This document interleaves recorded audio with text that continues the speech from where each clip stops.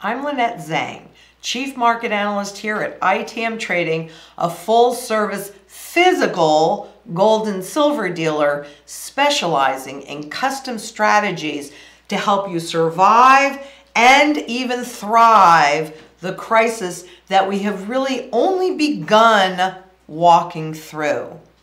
Today is on Q&A and the questions were all turned over, so I haven't seen them. I'm not really sure why that matters, but okay. So I'm just going to get right into it. And Lou Anne M asks, is the closing of non-essential mom and pop stores consider, considered shock deflation?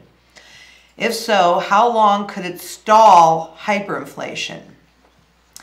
Well, it, it, the whole part of shutting down the global economy or I'm going to talk about that uh, probably tomorrow.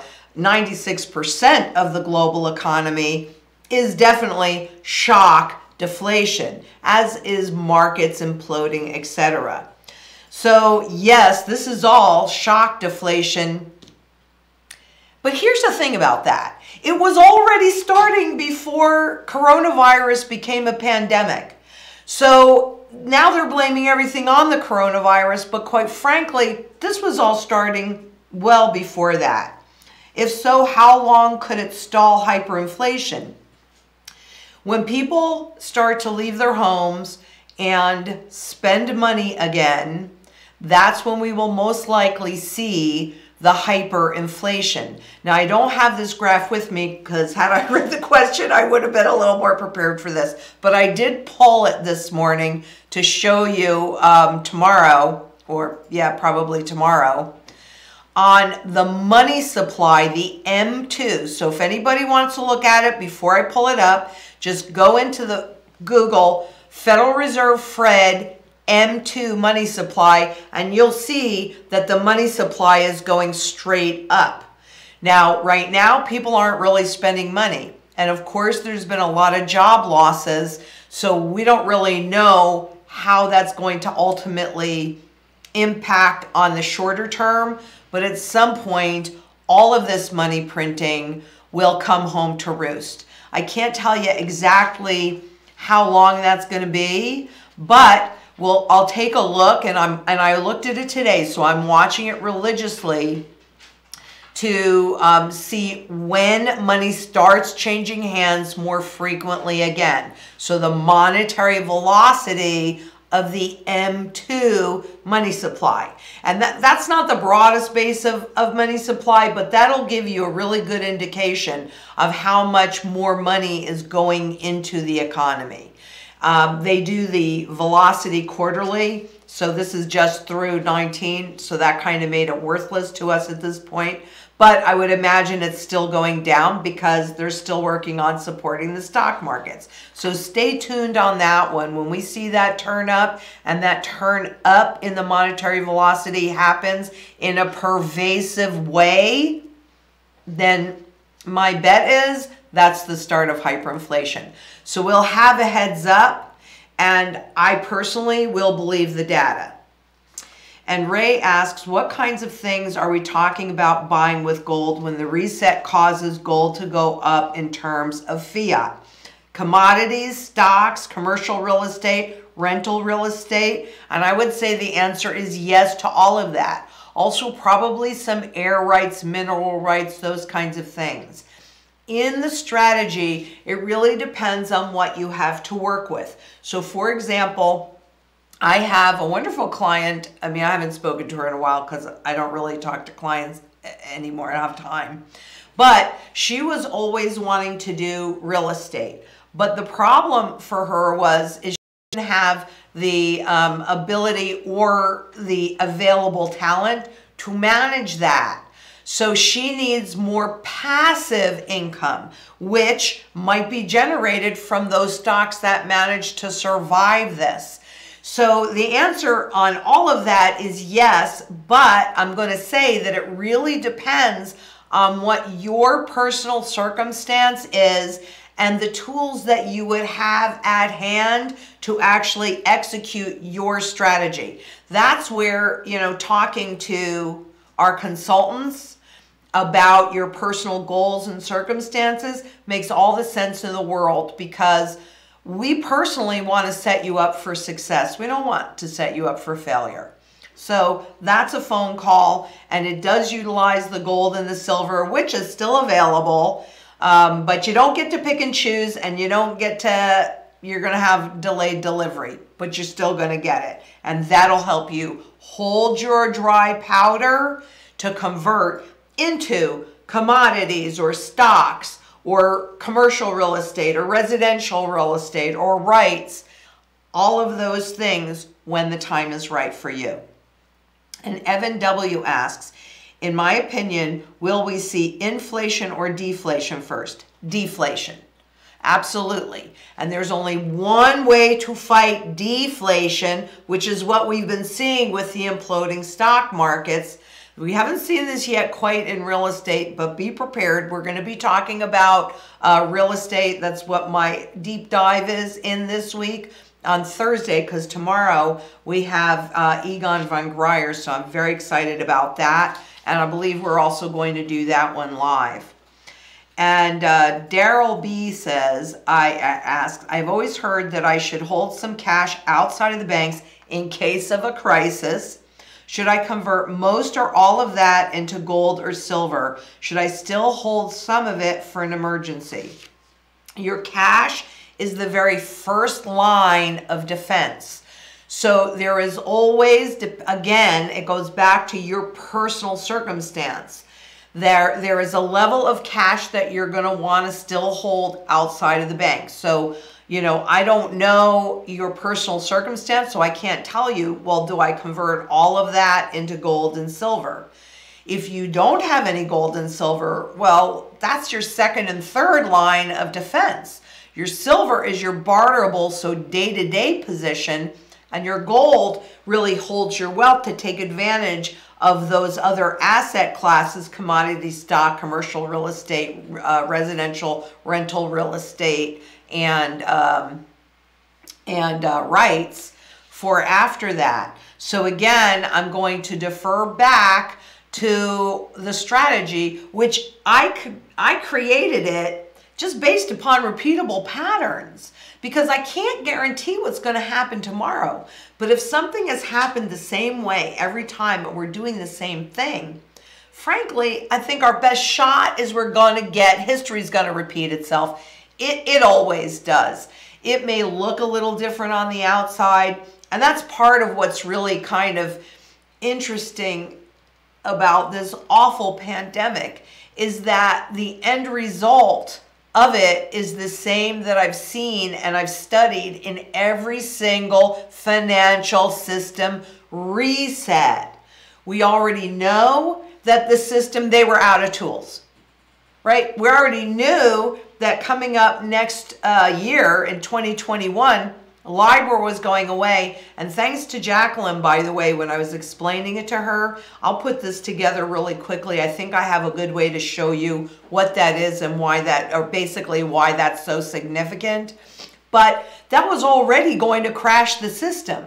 So the fact that this happened in 2020, and I and frankly, I listened to a really interesting piece on from Dr. Ron Paul on his Liberty Report, and we'll we'll put that link um, in the blog so you can go and look at it. But look at how much of our civil liberties and our freedoms that we're giving up so easily. And, you know, I can't point fingers because I've been housebound for what, three weeks, going on four weeks now. So I'm quite concerned about it myself. But the reality is, is if we can't get together and talk about it. It's divide and conquer, and we uh, are, are giving up our civil liberties. I'm going to see if we can invite uh, Dr. Paul to come back on and talk about that because it's an extremely important topic. And we have to really figure out what we can do as a community. So all of you viewers there, plus, you know, all of the other people that do the same kind of work that I do and all of those communities, we have to come together in an open kind of forum, even if we're not face to face. So we're going to work on that. We'll talk more about that later. And uh, so so Darrell, you know, give us a call. Talk to if you haven't spoken to anybody with us, then they'll put you with somebody good. Talk to them about your circumstance and figure out what's right for you. And Doug B says, asks, if all the FDIC insured banks were to fail simultaneously, what percentage could the FDIC cover? Well, at the most current uh, piece that I looked at, they have three cents to insure every dollar. So there's your answer. If all of them were to fail simultaneously or even very close together in 2008, according to a report from the FDIC, not my opinion, if one more small bank had failed, it would be obvious that they were absolutely insolvent. So they don't even have to all fail simultaneously, just near each other. And in this ample liquidity regime, which means that they are just printing and printing and printing and printing and oh, let's see, printing some more, uh, rather than the banks I mean, frankly, there was a run on the banks. That's why you see the money supply going up like that. Bear with me. I'm going to talk more about that this week because I pulled it up this morning and I went, yikes. So I'm going to talk more about that. But the FDIC, you know, they, they don't have, it's a scheme. They even say that it's a scheme. Those are not my words. Those are their words. It's just to make you feel comfortable leaving your money in the bank so that the banks can leverage your equity because it's not really yours. You deposit it in there, they sweep it into sub accounts, and then they get to do anything they want with that money. Um, before I go to the live questions, though, I wanted to show you this in the Wall Street Journal, and we'll we'll get the link to that. This came out this morning. You might recall that I have said over and over that during these transitions, food becomes the biggest issue for most people. Now, I'm sure that you've all been experiencing your own level of food going into the grocery stores, finding the shelves bare. But in this particular article, eh, on section, it's on page B, one second. This is jump in egg prices pressures grocers. And this is the change in pricing from the beginning of January. Egg prices have dropped 229%. 229% because people went to buy eggs. I have chickens and since I'm doing vegan, I'm not even eating those beautiful eggs, but I am supplying them to Megan and to and to Jacqueline and to my sister and to friends and to anybody that that I ask, what do you need? And I can give them eggs. I can give them salad, which reminds me, we told uh, we told Jackie we would bring a bag of salad by. We went for a walk this morning uh, and met a neighbor, said, what do you need? And she goes, do you have lettuce? And I said, yes, I do. So we're going to bring her a bag uh, tonight. Well, I will when I take Daisy for a walk again. Ground beef, though, is up 47%. Interestingly enough, cheddar cheese, butter, chicken, and ham, and ham particularly was down 42%. The wholesale cost for whole chickens, butter, cheese, and ham have fallen despite consumers rushing to stock up, partly because of plunging demand from restaurants. You know, I thought about this the other day. What if people don't know how to cook? I mean, that's a skill that I learned as a child and that I taught my children. But so many people are really dependent on takeout and restaurants for their food. Are they still ordering in or what are what is everybody doing? If you have a personal story to share, please share it. The coronavirus pandemic forces Americans to shift from restaurant dining to eating at home. Soaring prices are frustrating some grocery chain executives who are scrambling to secure supplies and girding for prices to rise even higher while trying to hold prices stable for consumers. But it's that girding for prices to rise even higher. let this be a warning for you. We will get to a point in here where we're going to be able to roam free again. Well, I, I hope we'll be able to roam free again. Use that as your opportunity to become as self sufficient as you possibly can. Because I think that what we're experiencing right now, this is the first bump. But in that hyperinflationary event, because the global central bankers are just going to print us into it, period. And, and you should be able to see that really well. So, you know, keep this in mind and do something about it while we have the opportunity. And Quadman72 asks, if the money printing is kept out of the masses, will this delay hyperinflation?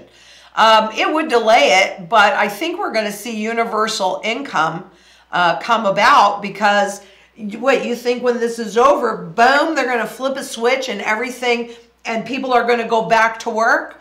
There's so many small mom and pops that will be shuttered that will not come back on. And the mom and pop shops employ about 48% of the general population, plus they do even more than that in hiring. So we don't know what this is going to look like. Just like the stock market's been up, what, almost, what, 9% yesterday, and when I looked before we came in here, about 7% today. Do you have any idea what the value of any of those companies are? Heck no. But what you know is the government is printing us into oblivion. And that money is designed to go into the stock market and fight that deflation. And uh, J.K. Co asks, What's the difference between physical gold and collector's gold? Well, collector's gold is physical, but it has a different designation according to the IRS. So for me, in like with my uncle Al, who just had pre 33 coins and had at least 3,000 of them when you couldn't own more than five. For me, it's the most likely ability to hold on to your gold and be able to use it in the normal marketplace as opportunities arise. That's what it is for me. And even though the premiums have gone up a bit, they're still severely undervalued. And it's what you can really get your hands on. When people finally realize out there that, hey, they really need to have some gold, imagine what those premiums are going to, to do. Now, will you sell in to convert it into the fiat? Not if you listen to my channel and you believe all the hard data, except when it's time to pay off a mortgage or perhaps convert it, etc. So just stay tuned, but that's the difference between the two. Uh, physical gold, if it's new gold, they're both physical, but if it's new gold, that's bullion. That is the most likely. If they do an overt confiscation, that is what they will most likely confiscate because it's, you know, roughly 98% of all the gold that's out there. Much better. And they control the spot price. So that one's easy peasy. And uh, Aladad Gabhar says, asks, if they do reset on the money, will my money in the bank be taken away? Well, your money, whatever money you have in the bank will be reset accordingly. Now, I don't know what level of the initial reset that it's going to be, but when you look at historic resets, a thousand to one comes up a lot. So if you have a thousand dollars in the bank, the next morning you wake up, there's one there, and that's it. And yeah, whatever is in the bank, but of course, keep in mind that even your cash in the wild, so in other words, money, uh, cash that you take out of the banking system, will also reset. Um, and let's see, oh, why make gold a tier one asset? Well, uh, what they're referring to, what Tony is referring to, is uh, the banks that hold reserves. And tier one is the safest level, most liquid level of asset. And the reason why gold is tier one and why they made it that way, quite honestly, they knew in 2008 that the system died. They knew it. They knew it. They knew it. They knew it. And whoever holds gold is going to hold their purchasing power and their wealth, and therefore be in a much better position as we go through this. Because I want you to keep in mind that wealth never disappears, it merely shifts location. What are reserves? Reserves are like a savings account. If there's a little glitch, in your in your checking account or what have you and you have savings you can move that money in and it's not really that big a deal for you. If you have a little glitch in your savings account and or your checking account and you don't have any savings to cover it it's probably a much bigger problem. So the same thing would be true for the banks and that's why gold is a tier one asset. And um, we i have a, an interview that's coming up but axiom curb community asks our question for Lynette is what strategy would best be put in place for those solely dealing with decentralized crypto assets and who has no gold or silver or cash to start physically investing now?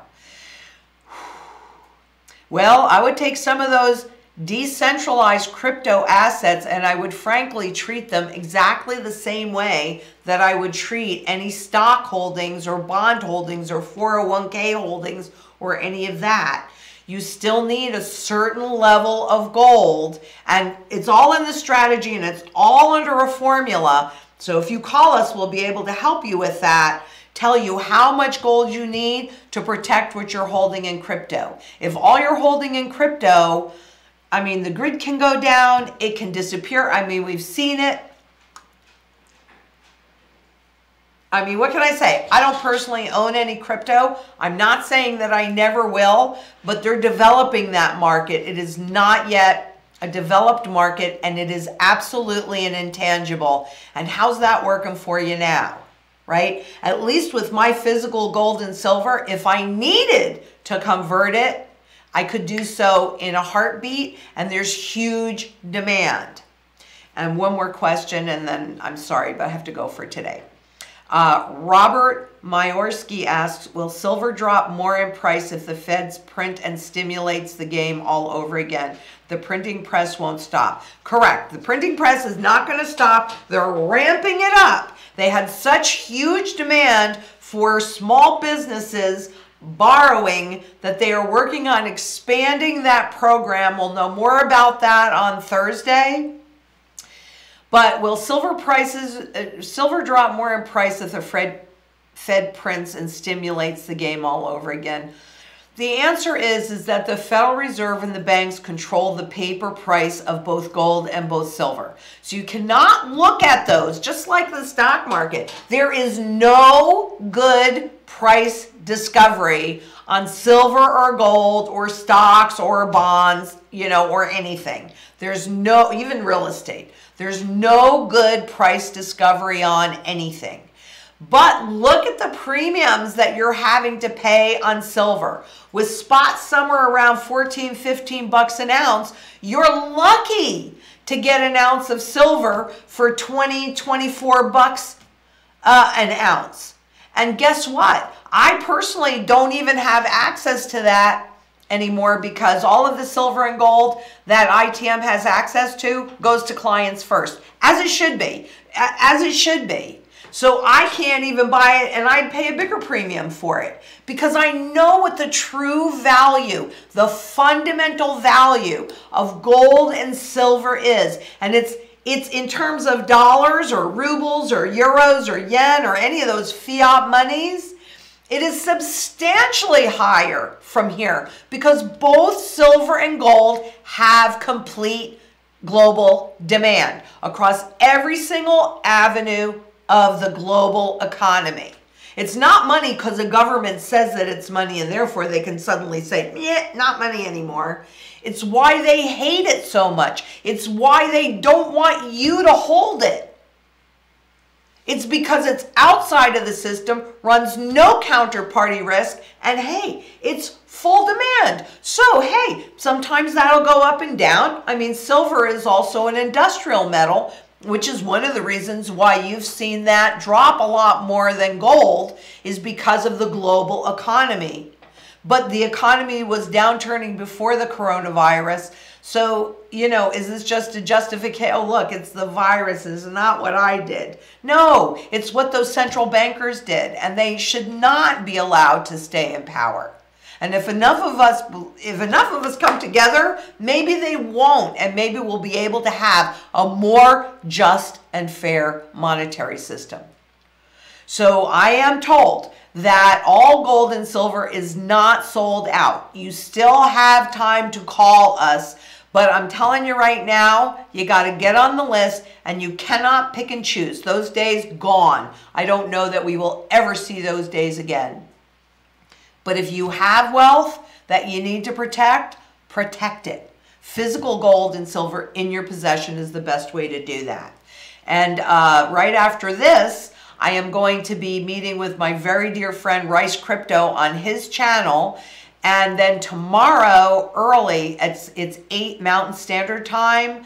Again, I'm going to do a coffee with Lynette with Egon von Greyerz. And maybe he's in London, maybe he's in Switzerland. We're going to get He's in Switzerland? Okay, so, oh, that'll be great. We're going to get a much different perspective on what's happening in the gold and silver markets, particularly the gold markets, um, from him. I'm very excited.